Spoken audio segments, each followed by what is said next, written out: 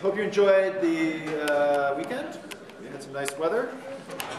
Um, I want to keep talking about GUI applications here. And again, it's sort of important to plunge right in and just sort of fight your way back to the surface, right? That's these big systems, you can kind of poke half-heartedly at it and hope that you sort of get some big understanding. But the best way to do it is to sort of dive in and then just Google a bunch of stuff as you get confused until you emerge with some fuller understanding. So, in our GUIs, you need to start with what's called a top level container. Again, containers are things, it's actually, container is a class that you typically inherit from. Containers hold other containers and also hold components. And components are the things that we see, buttons and sliders and so on. There are different options for these top level containers. We can have JFrames, which is one we used already. And again, it provides little red, yellow, green buttons and resizability and things like that. There's also J dialogs and JApplets. Applet should be capitalized with A there. Um, but for the most part, we're going to use JFrames in our stuff. Applets are for like being on web pages and, and so on. Um, you cannot put a JFrame inside another JFrame. So while a lot of things we want to build up in a hierarchy, put a button inside this and put a you know, panel inside that, you can't put two JFrames uh, inside each other because it's added directly to the frame. But really what that does is if JFrames add method adds it to this content pane for you. So it sort of hides that there's another layer in there. Okay. So when I had that label and that button, and I said add each to the JFrame, I was really adding to this content pane, uh, content pane, which is a container of some kind. Now, a slightly more common thing to do is to make your own pane replacement out of a panel, out of a J panel, and you, you say set content pane to be that panel. And so you sort of have full control at that point over what's going on in this, this larger area here. Okay, so um, let's look at how to do this a little bit more. So one thing is, once you have a bunch of buttons and things in here, you want them to be in, you know, match some vision you have of what your application should look like and not be like a label and a button and another label and another button and, you know, just sort of primitively stretch out. You want to have control over what's going on. So to do that, we're going to use these layout managers. Right? So like even more stuff. Like I said, there's a lot of things to kind of get control of to do this, this stuff right. So there's a bunch of different named existing layout managers. There's a flow layout that basically gives you a left to right arrangement.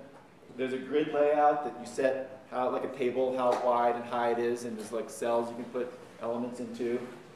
There's a border layout that basically gives you uh, little areas up, up around the border and then a big center area. But maybe we should look at uh, the documentation a little bit. And so, for example, this is a border layout. This is what's called a box layout. It also does like rows and columns of elements. Something called a card layout that I kind of forget what that does. the flow layout is actually the default layout. So if you just add stuff to the content pane, it's going to be a, a flow layout to, uh, to begin with.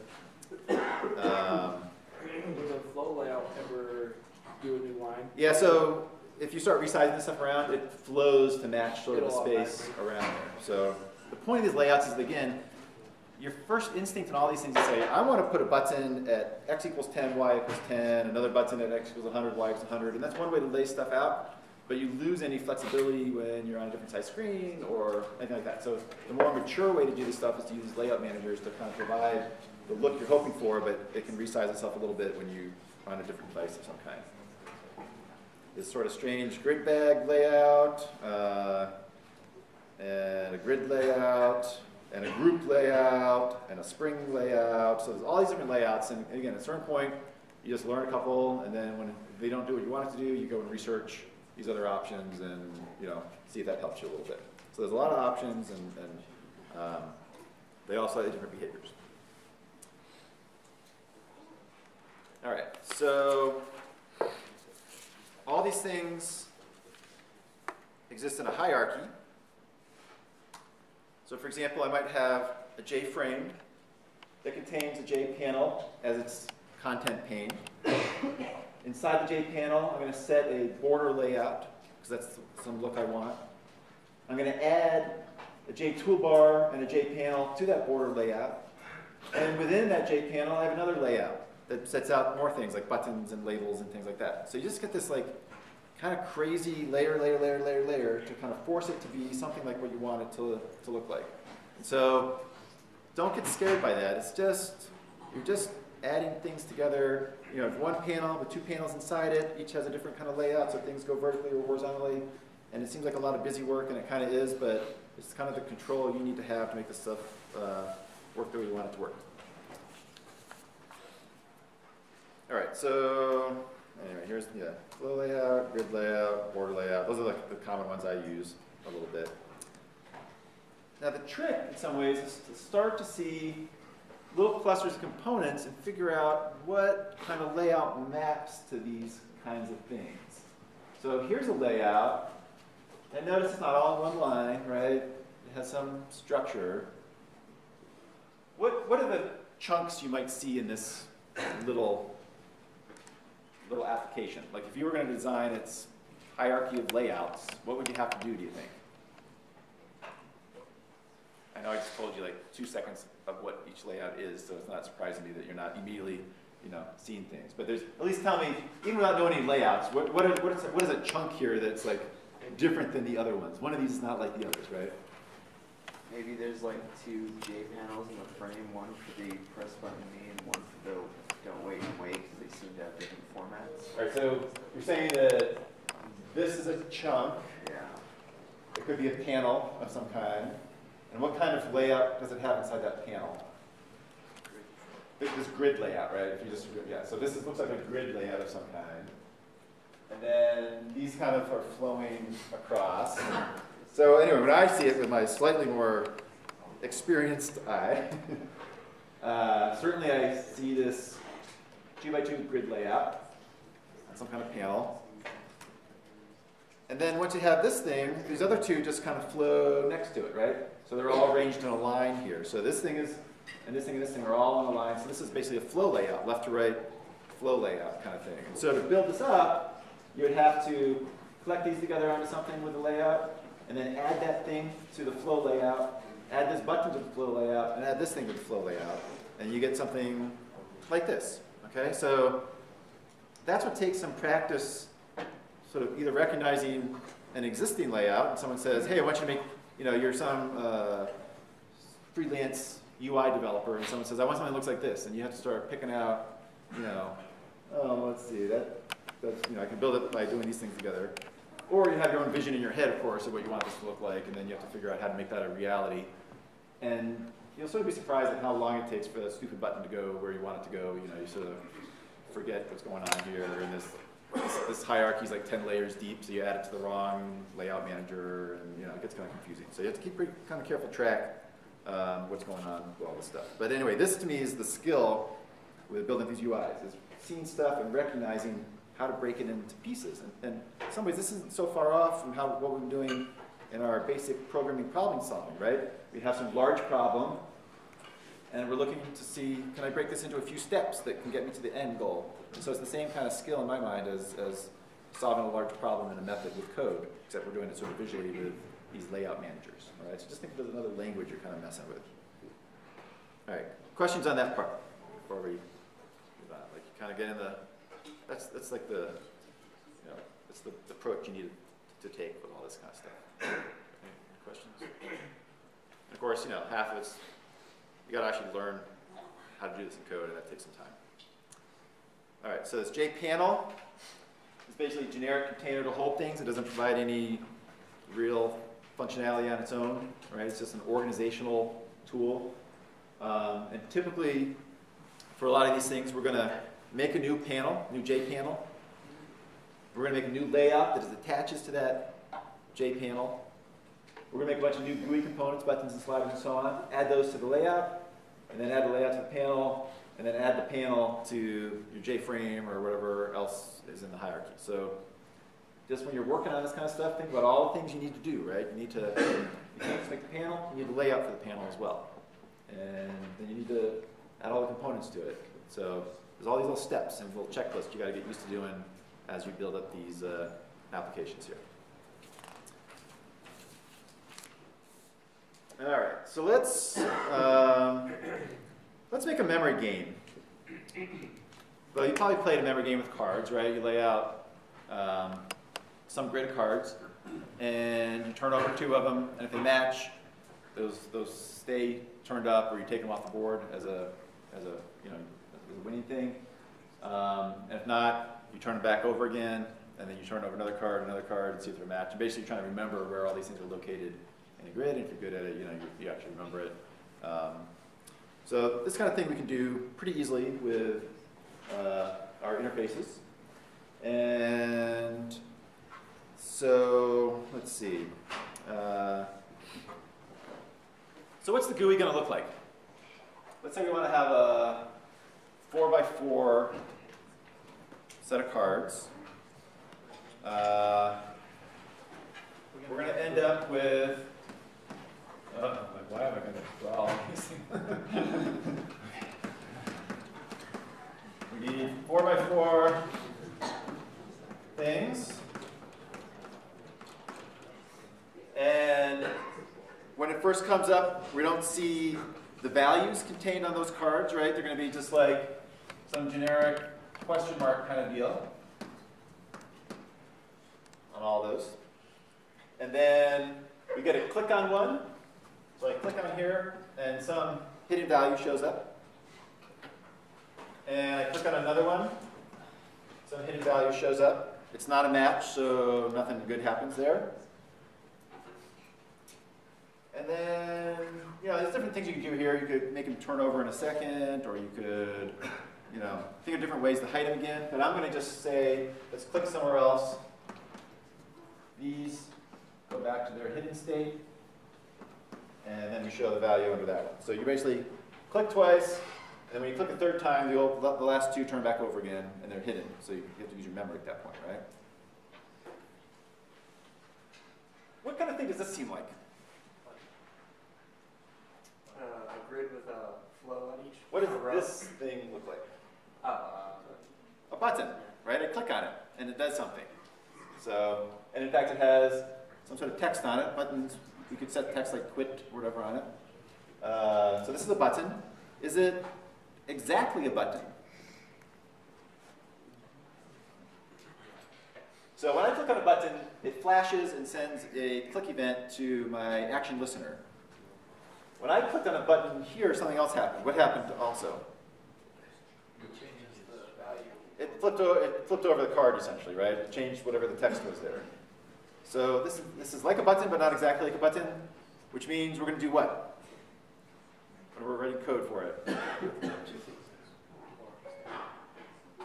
If something is like a button, but not exactly a button, we inherit from it. We extend it. So we take the button functionality and we add some new capabilities to this thing, make it act like a memory card thing, right? So to build this game, we're going to make a, a new kind of button. That's our button that acts like this.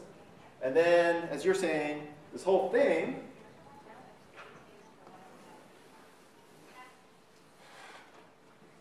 What is this thing here? Well, let's, let's pretend. So what is the whole outer thing? That's that J-frame thing, right? And inside the J-frame, we have the content area. And that's going to be J-panel with a layout. And this layout looks like a grid. All right, so we have enough information to kind of get started here. Uh,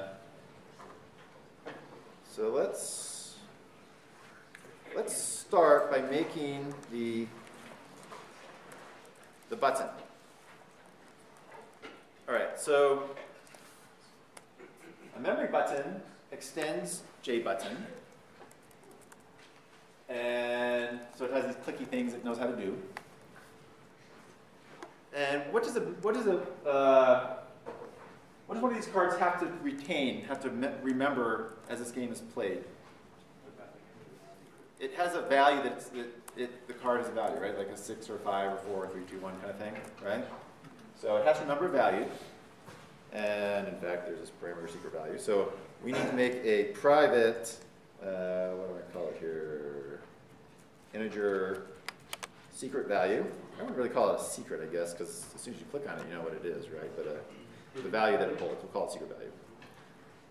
So when we construct a memory button, we want to store some value in this instance here, right? So we're going to say, hey, make yourself as a one card or make yourself as a two card kind of thing. And so I'm going to say that secret value equals this parameter secret value. All right, so we, we're going to make a new memory button. We say new memory button with a 1. That 1 gets sent to this underscore secret value, and then we assign that 1 to the instance variable secret value here. It's not used. Okay. Now, what am I missing here? This is a J button, right? So I need to make sure that I also initialize the J button part of myself. And so I'm going to call super. And it'd be nice to know a little bit more about like what the J button constructors are, because I don't really know them that well. But there is a J button constructor that takes in a string and makes that the label that's displayed on the button. Okay, so I want to start off by making this a hidden card with a question mark on it. So when we first deal them out, they're all face down. We don't see the secret values because they're secret. And instead we show a question mark, so there's something on the card, so it's not just like a blank square, or we're like, what is this thing we're supposed to do here? Okay? I could have a press me or something like that, but I don't know if that would fit on our little tiny squares. All right, so super is going to construct the J button aspect of our memory button and give it an initial label, and then also have this augmented capability. The extend part is that we're going to store a value in each button, so each one knows what, what number they're at. Now, I'm going to do one other thing, set font, a font to be a new font. And there's a font called Dialog, and it is a plain font, and it is bigger than the default size. Really, really what I really wanted out of all this was that font size 24 so that we have our button and it's not like a little tiny question mark in the middle. I want it a little bit bigger. Okay? So again, that's something that is like, like that text is small. I want bigger text. How do I do this? I have no idea how to do this. To be honest, I still really don't have much idea how to do this. So you Google it, right? Java Swing, make font bigger. And then someone says something and you're like, that looks plausible. Let's try it, and it works. That's cool. That's what that's what you do, right? You just say, I want to do this. You know this thing is all powerful. It will anything you want to do, it knows how to do. And so don't be shy about asking the world about how to do it. For the set font, what's the purpose of that first parameter, the, the Dialog right Uh, there? What's, what's that function? uh, just new font. Making a well, font is a class of some kind, and it knows about. Oh wait, what am I doing here?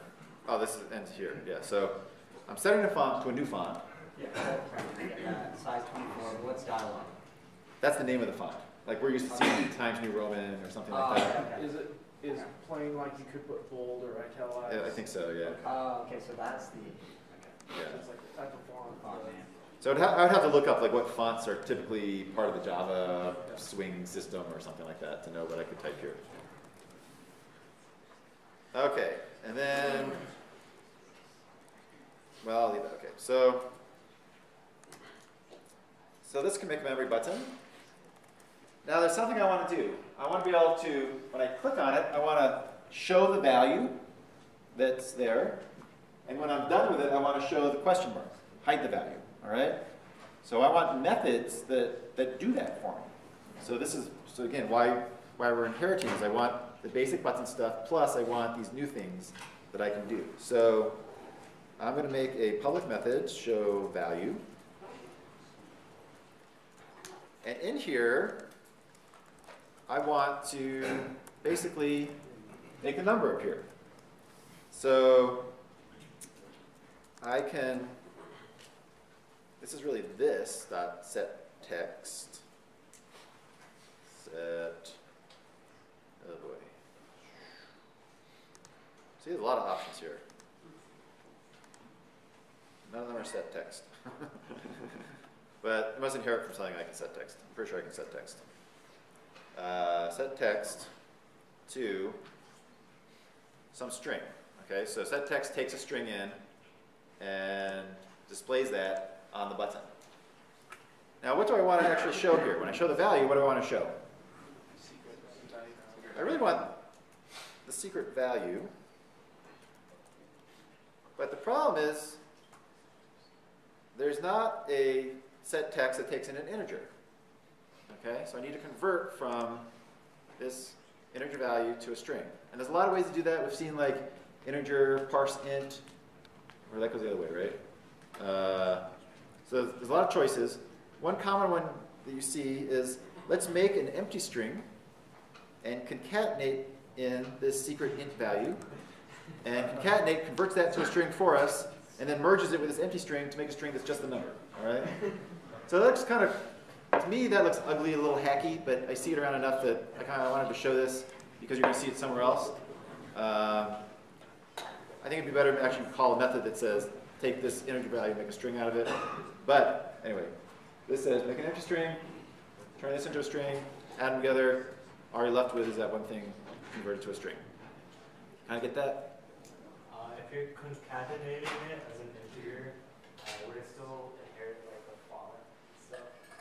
Yeah, once that's a, once that's a string, Okay. that gets sent. So strings don't have their own like bold properties and stuff, right? So it gets sent to set text. The set text method looks and sees what font properties apply to it and displays it based on that. So there's a whole complicated thing going on underneath there, right?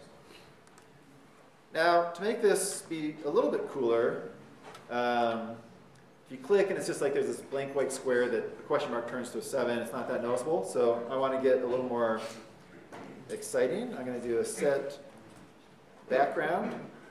It takes a color.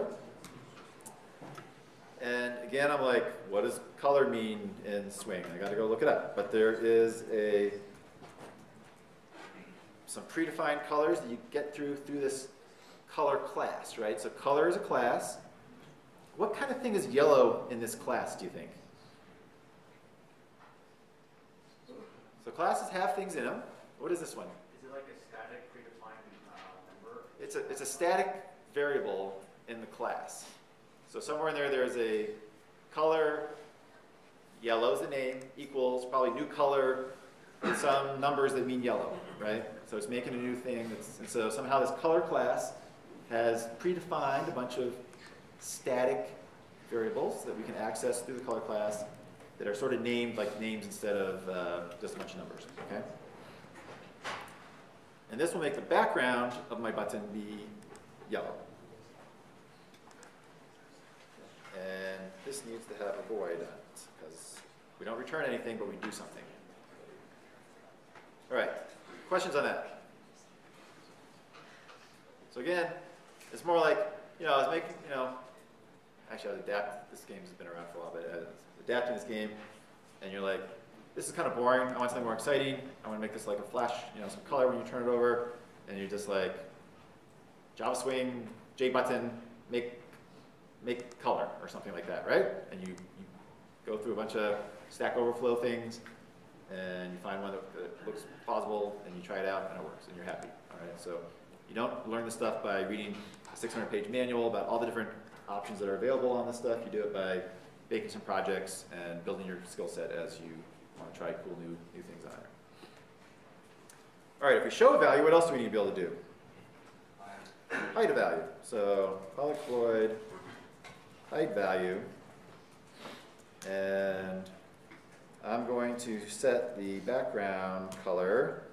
Uh, in this case, I want just some default background, and you're allowed to just pass in null. So that makes it sounds kind of scary, right? Like, like there's no color, but it, it's smart enough to know what to do if there's no color. It's some, some default kind of deal. And in this case, I want to set text to, so when I'm hiding it, what do I want to show on the button? That question mark thingy I had, right? So actually, I can just do that directly. I was about to do my whole little concatenate thing again, and then I was like, no, I don't need to concatenate a question mark with an empty string in this case. All right. Um, so set show and hide. And my guess is that at some point we need to be able to extract the value out of this class so we can compare it with another card and say, are they both sevens, are they both sixes? And just showing it on the label is not enough for the computer to know what value it is. And so we need to actually provide kind of a little more standard getter here. Um, get value.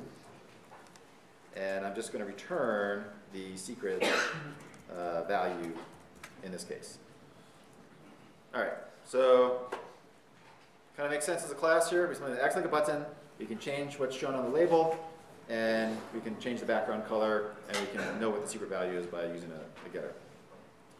Notice I don't have a setter in this case because if these cards were changing values, would really be that'd be a tough game, right? That all of a sudden, you know, that seven turned into a three, so you thought it was there, now it's something else. And so we don't want to even allow that capability by by providing a setter. Now, if you type this in, there's a little yellow thing here, and it says the serializable class memory button does not declare a static final serial version UID field of type long. And I'm like, yeah. So what should I do? Let's do a quick fix. Add default serial version ID. And it adds this weird thing. Private static final long serial version UID equals an, a long is, is an integer that has more values. And so this says this one is a long, all right? Don't worry about that. That's just sort of being part of this Java Swing kind of environment for now. At some point, maybe we'll sort of talk, talk about it. But it's basically, it wants to know how it can dump these things like to the hard drive in some sort of meaningful way, and it needs some sort of ID that says what kind of thing this is. And it's going to complain and just sort of do that quick fix and, and just go with the flow in this case. Okay, don't worry about it. I know you want to worry about it because it's long and scary looking, but just sort of just do it and be happy and don't just ignore it. Okay, so we have a memory button. Now we need our memory game. All right, in our memory game, we want to have all this stuff here. And I want to talk about one thing here. So in our memory game, we have a lot of choices as to how to use this Java Swing kind of stuff. We can make a memory game class that inherits from JFrame. So it is a kind of JFrame. Make one that has a JFrame instance variable. That was the first way, when like two lectures ago, I showed making a little simple class, and we just had a main method, and inside the main method, it said JFrame, JFrame equals a new JFrame, and then add a label and add a button. So we used it through composition by adding an instance variable to the class. Or we can inherit from JPanel and make the JFrame in main. So we sort of say there's this JPanel thing that acts like the game, and then the JFrame is going to use that in uh, some other program. These are kind of design things that you're sort of, you know, either you blindly do stuff and it, and it never causes you any trouble, and you, and you never like think about these issues at all. and that's a bad idea. You need to be thinking about these kind of things. How do I structure this thing that makes the most sense? And it's not like a super right answer, so it's also like sort of dependent on a bunch of factors. Uh, so in this case, this was actually the way I used to do this, inherit from JFrame. And then I decided, well, why do you ever want to inherit from something? You want to inherit from something so you can have a collection of these things all in some like polymorphic behavior and reuse like this JFrame in some other program. If I inherit from JFrame, I can't insert it in another program because JFrames can't go inside JFrames. All right? So JFrame is always at the top level, and so if I inherit from JFrame, I can make a specialized class that, that acts like a JFrame. But it's not like I can use this memory game and stick it in some other program as like an example of a memory game as part of some larger other program. If we have it inside as an instance variable, that's sort of okay, but uh, then it's hard to get access to all the parts of it from outside the class. And what I want to do is make our game be a JPanel and we build it up as a JPanel with all the good components, and then we insert it into another program that has the JFrame and use it, use it there. Don't, I'm not saying this that you should be like, oh, yeah, yeah, okay, I get that, you know, like, but I want you to, I mostly want you to be aware that these are the decisions that at some point you need, to- need to start making once you're more familiar with this system and think about how you're going to build up these, these, these programs, all right? So I'll show you this last way and you can see if you like it or not and then just sort of follow that template um, a little bit. Okay, so let's, let's just kind of start writing some code here. All right, so we know we're going to have a collection of our memory buttons, and we want to put them in some kind of layout. Uh,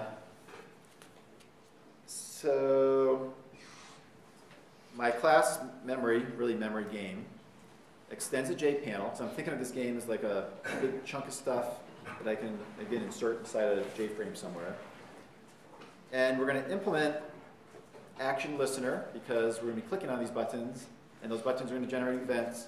We want the game to decide what happens. Are these two matching? These kind of things, right? So you also have to decide where we're going to respond to events. I could respond to, I could have made the memory button respond to action listener, but they all live in isolation. They only know about themselves and what secret value they have. By putting it here in the game, then I can say, oh, there are two things clicked, do they match, and so on, and kind of have a little higher level control over what's going on here.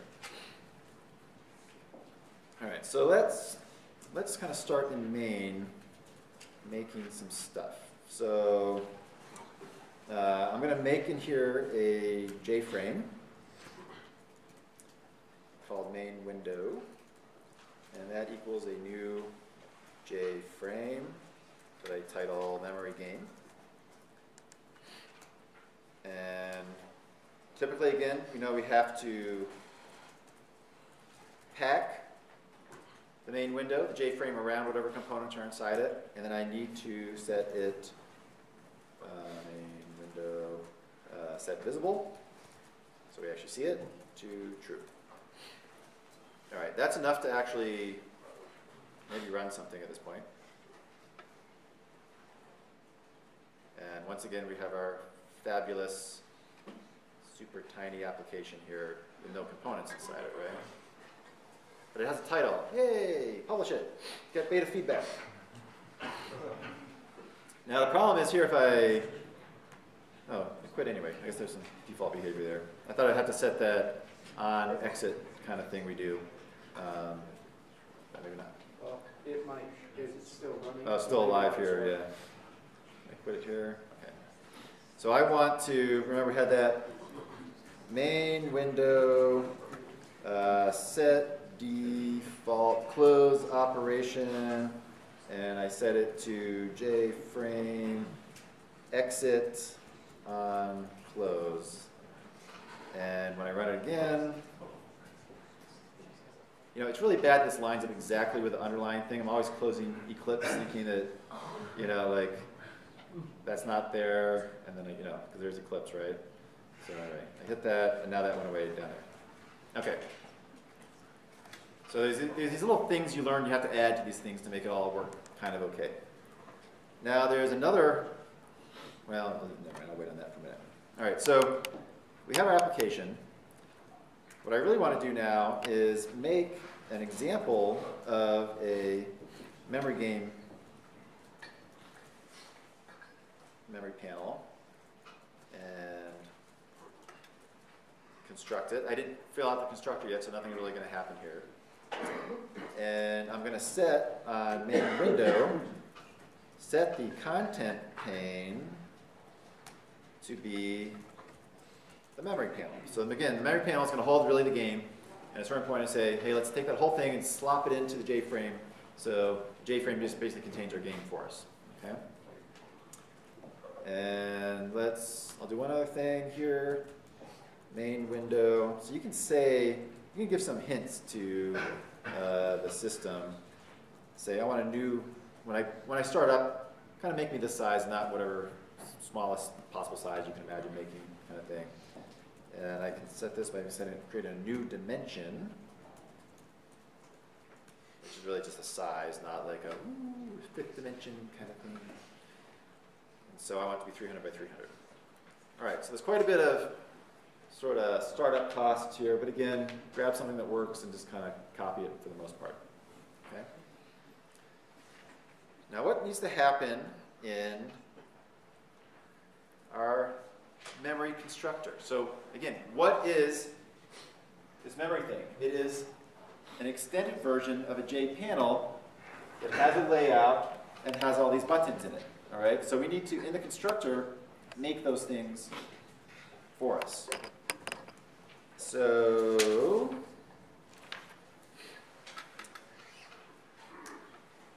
what's the first thing I need to initialize here? I need to say I'm a panel, and I need to call super. Super. Okay. So it doesn't have a title, so I just call an empty constructor on super, and that's good enough. So I'm now JPanel, of officially. I now want to create a layout, so I'm going to make a grid layout. Grid equals a new grid layout that is, I basically say what kind of table size I want, you know, four by four, because there's going to be four cards across and four cards down. All right. And then to that grid layout, I'm going to make a bunch of buttons and add them one at a time to the grid layout. So to do that, what value should go in the secret values for these buttons? So I heard random numbers 1 to 8. There's 16 cards. Why 1 to 8? Because there's pairs of cards, right? So there has to be one pair that's 1, 1, another with 2, 2, and 3, 3, 4, 4. So at some point, it'd probably be nice to get 16 ints that are really eight pairs of numbers in some sort of, then shuffled all up into some random order, right? So I could do that all here, write a bunch of stuff, but I want to again break down my problems a little bit. So I want to, let's just, now that I recognize that I want this set of stuff, 1, 1, 2, 2, 3, 3, but all scrambled, let's solve that in a different chunk of code somewhere so I can kind of concentrate on that and test it and make sure it does kind of what I want. So rather than just put it all, you know, all in the constructor, let's break it out a little bit. So with the grid that you created here, would we not want the instance variable grid for the pane rather than declaring a new one here, or? All right, so why, why not uh, up here make a grid layout grid instance variable and initialize it here? Well,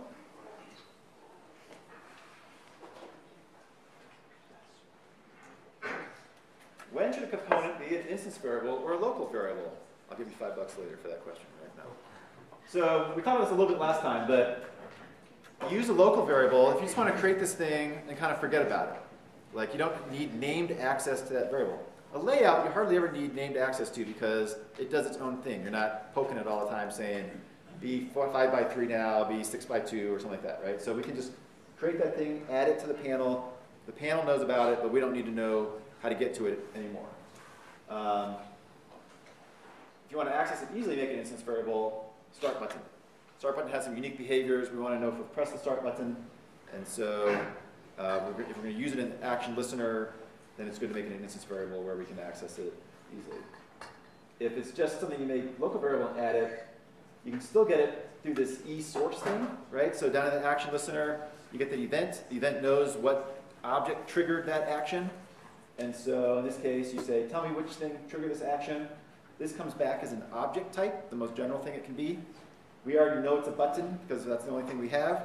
We're going to cast it to be a button so we can use button kind of behaviors on it, but we don't know exactly what button it is. This is just a reference to whatever button was pressed in, in the game. we don't need to know it was like memory button 3 or something like that, okay? So again, you'll start seeing, you don't want to just crowd up your class with a bunch of instance variables you never access by name, but if you start, so I'd make them local for the first part in the constructor, and then all of a sudden you realize you need to know about it somewhere else, then shift it to be an instance variable, sort of as a need to know kind of basis kind of thing. All right, so that's Eclipse. Okay, so Um, we, we're talking about trying to break off some code to give me six, eight ints in pairs scrambled. And I have actually written such a thing. Uh, I made it an array list because maybe sometime we want like a five by five game or a six by six game. It'd be nice to be able to kind of have this thing grow to be the proper size that we need. And this thing basically uh, creates a new array list. We count up from one to however many pairs we want, one to eight in this case. We add them to the array list, and then there's some nice little code that does a shuffle for us. So instead of me generating a bunch of random numbers and saying, do I already have two ones? I don't need a one anymore. Do I need, you know, I only have one one. I need another one. It gets sort of complicated. Just make the things we need, add them twice because we need a pair of them, and then shuffle it. Okay? And I'm going to assume that does a good job for me because I didn't write it. If I wrote it, it would be a bad job. and then we return it. Now this method is private. So only code inside the class can access this private code. This is because I don't think this generate secret values is part of the useful interface for being a memory game.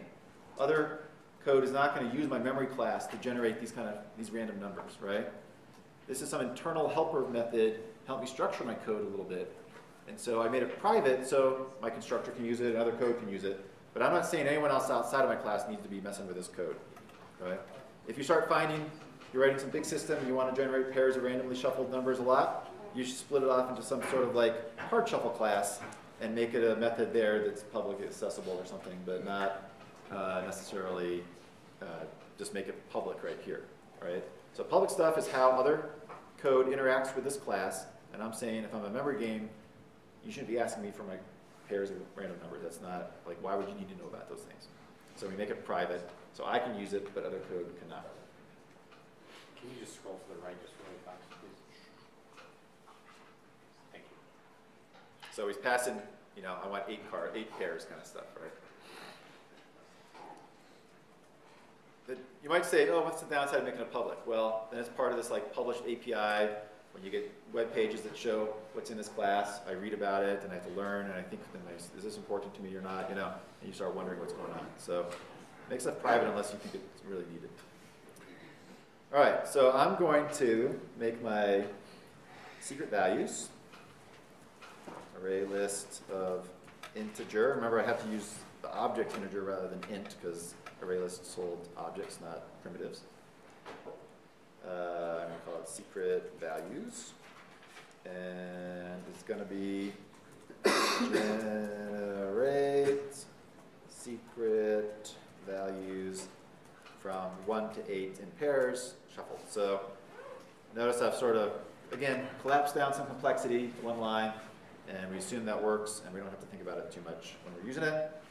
And then I'm going to go uh, equals 0, i less than 16. That's kind of bad, but we'll just use 16 for now.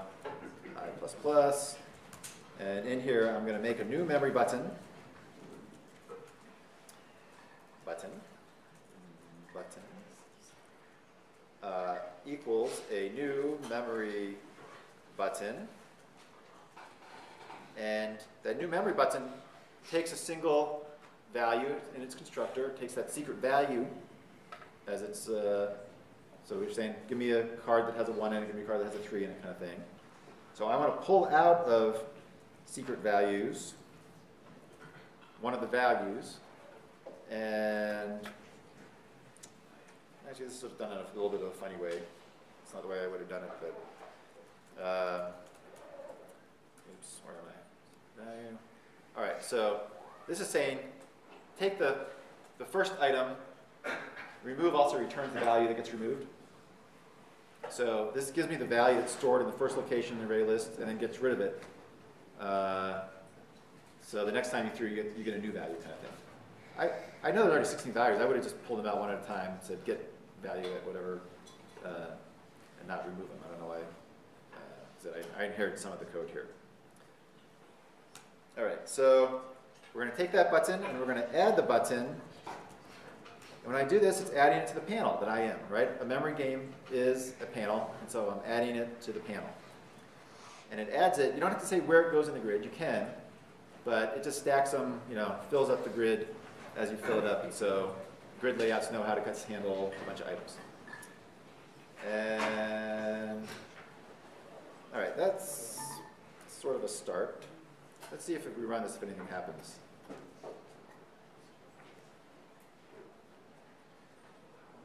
Nothing happens. Oh, something happens. Whoa, that's weird. something, something was different than when I was running this last night about its sizing or something. So that's weird that the initial size was like that. So notice, you know, the grid will try to put it where you want it, but it doesn't force it if you make it be, you know. okay. Now notice, nothing happens when I click on this, right? What do I need when I click on something to make it do something? I need one of those action listener, uh, action perform uh, methods. Just enough time to get that started here. So I want to, to the button, I want to add, what do we call that thing?